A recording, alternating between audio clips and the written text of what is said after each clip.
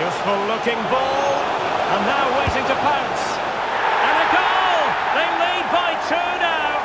And that allows them to breathe a bit more easily.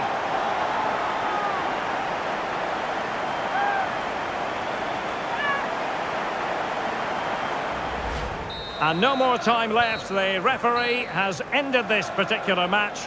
Arsenal are the side to move on. Yes, and thoroughly deserved, you have to say.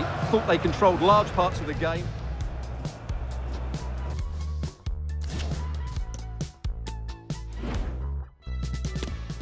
Well, the Arsenal fans are driving their team forward here. Just listen to this noise. Couldn't quite hang on. In it goes! At the second time of asking, and the keeper feels hung out to dry.